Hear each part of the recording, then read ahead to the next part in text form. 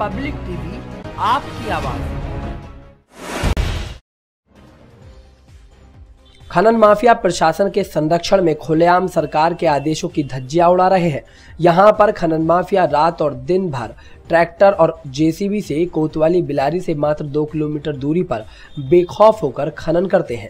इतना ही नहीं, खनन माफिया कोतवाली के गेट पर होकर अपने ट्रैक्टर और ट्रॉली मिट्टी से भरे लेकर ले जाते हैं और राज्य विभाग और खनन अधिकारी, पुलिस अधिकारी खड़े खड़े देखते रहते लेकिन किसी के भी द्वारा इन खनन माफियाओं पर कार्रवाई करने की हिम्मत नहीं होती। तहसीलदार राजेश कुमार से इसी विषय पर जब चर्चा की गई तो कैमरे पर कुछ भी बोलने से इनकार कर दिया और तत्काल ही लेखपाल को जाँच करने की बात कही। लेकिन खनन हो रहे स्थान पर किसी भी अधिकारी के द्वारा हिम्मत नहीं जुटाई गई। तहसीलदार राजेश कुमार द्वारा खनन माफिया को पहले ही सूचित कर दिया गया और जेसीबी मशीन और ट्रैक्टर को बंद करा दिया गया। चार घंटे बाद तहसीलदार के फ़ोन करने के बाद खनन रुकवा दिया गया, लेकिन कुछ घंटों बाद लगातार फिर ही खनन जारी हो गया।